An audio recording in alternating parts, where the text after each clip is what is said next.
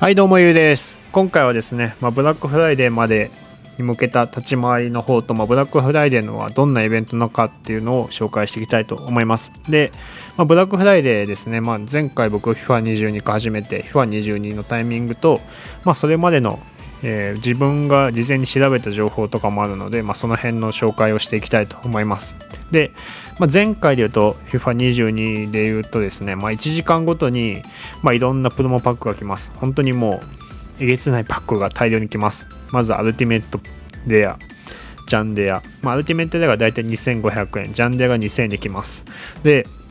FIFA21 まではこの上限が決まってて、まあ、そこ前に買わないと、まあ、結構すぐなくなるぐらいの出量やったらしいんですけど上限が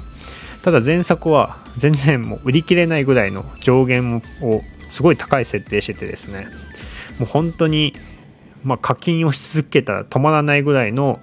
設定額になってました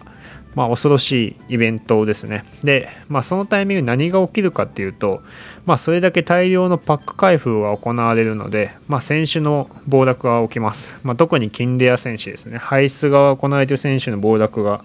まあ、一旦起きます。で、一応、プラフラ前までの感じで言うと、まあ、去年で言ったらですね、まああのまあ、海外のスイマーさんとかが、まあ、チーム解体した方がいいですよっていうタイミングで、まあ、全体の大暴落が起きてでまあここでフットベインの価格見ていくんですがこれ去年の FIFA22 のデータになります。でとですね、まあ、ブラフラタイミングですね。まあ、ここですね。11月18この段階では一応140万142万がエンバペしてたんですけどここから130万ですねだから12万暴落からのもう一発124万。だわずか2日で、えー、まあ16万、18万ぐらいの暴落が起きてます。で、これ何が起きたかっていうと、まあ、ブラックフライデー前にもう選手を売っとかないといけないと思って、まあ、パニックセル状態ですね。まあ、選手を暴落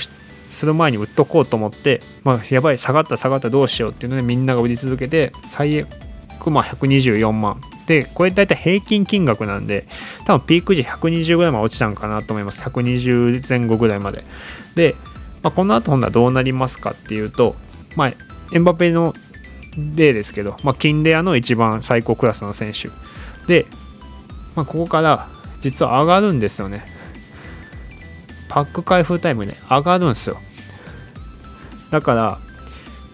狙いとしては一応、まあ、パニックセルが起きて、まあ、ここから何で上がったかっていうと、ブラックフライデーのタイミングで、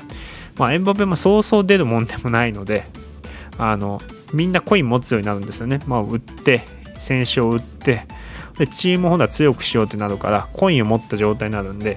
まあ、高デートの選手とか買おうとします。まあ、メタ選手の強い選手。だそうなったらみんなが求めてくるんで、こうやって値段が高騰したっていう感じですね。まあ、ここがずっと上がり続けるっていう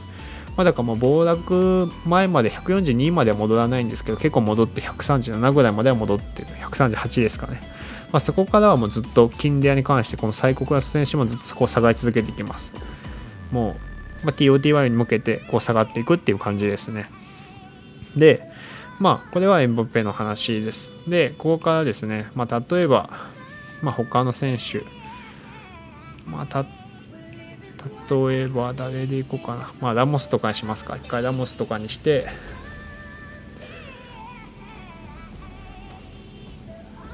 まあ、こことかもですね、まあ、一回上がって、まあ、これ多分素材選手なんですけど、これまあイベント関係でこう上がったりはしてるんですけど、どっちかというと、ここで、こういう選手だとかで言うと、逆にパック開封後にみんなが選手持つことになるんで、まあ、こう一番下がると。2万5000ぐらいまで下がったりとか。っていう起きたりはします。だから素材選手とかどっちかっていうとバック開封が起きたタイミングでみんな下がるっていう状態ですね。まあロナウドとか見ますか。まあだからメタ選手は下がる。で素材とかはパック開封後とか一番こう下がったりするんで、まあ、それは今までの問いにはなってくるんですけどパック開封が多いタイミングで下がるっていうので、まあ、下がったタイミングでまあ、転売としては仕込む方向になります。で、まあ、チーム解体はいつしますかとかよくあるんですけど、まあ、ここかワールドカップイベントがあるんで、まあ、ちょっと、まあ、去年とか一昨年とかと、まあ、傾向変わる可能性があります。イベントの要求とか、例えばそのパックの出し方とか、例えばブラックフライデー、例えば今回、アルティメット、ジャンデア、他のパックが出る可能性もあるし、プロモデアとか、さらに今までよりも落ちる可能性もあるし、まあ、今まで通りのこの FIFA21 とかの前みたいに上限を決めてそんなにパックを出さないとかもあり得るんでまあでもそれでもパックは出してくると思ってるんで一応その予想で、まあ、チーム解体っていうのがやっぱしておいた方がまあやっぱり安くで高くで売っといて安いタイミング買い戻した方がコインとしては維持できるんで安いタイミング売ってしまうと次買う時に上がってたら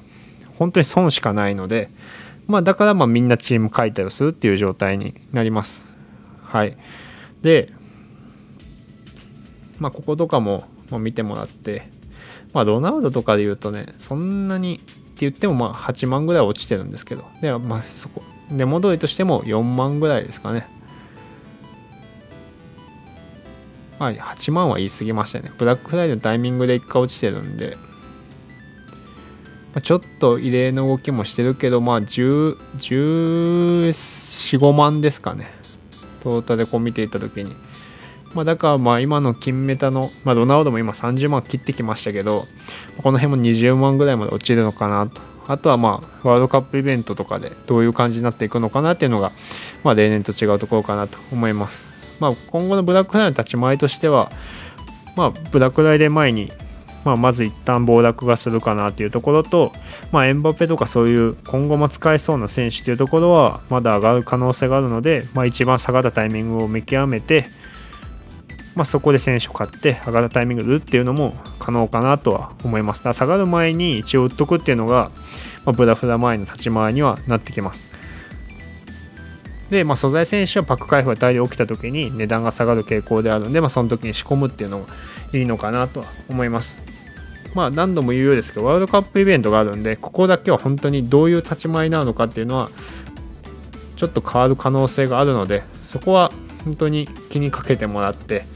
まあ、そのためにまあ自分は一応配信で転売情報とかメンバーシップの情報とかもやってますので、まあ、その辺はつい随時出していこうと思ってるので、まあ、興味のある方とか概要欄からメンバーシップの情報を見てもらえたらと思います。